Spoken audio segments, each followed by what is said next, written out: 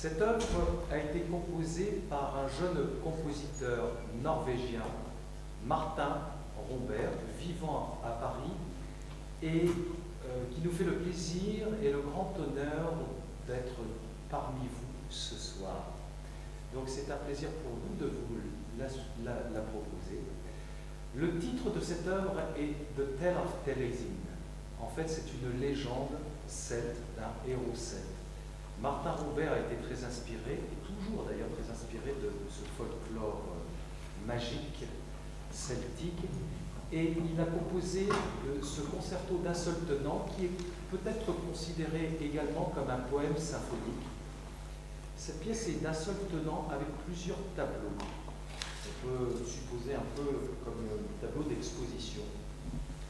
Et il vous reste plus qu'à faire travailler un peu votre imaginaire, avoir beaucoup de photographies en fait par rapport à cette musique, puisqu'en fait c'est un mélange très coloré, très descriptif que peut apporter une légende avec sa magie, ses sorcières, ses potions magiques, des courses de chevaux également.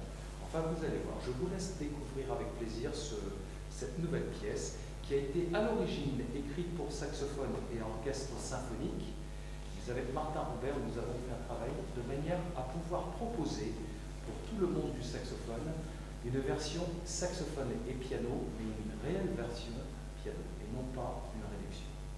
Bonne écoute.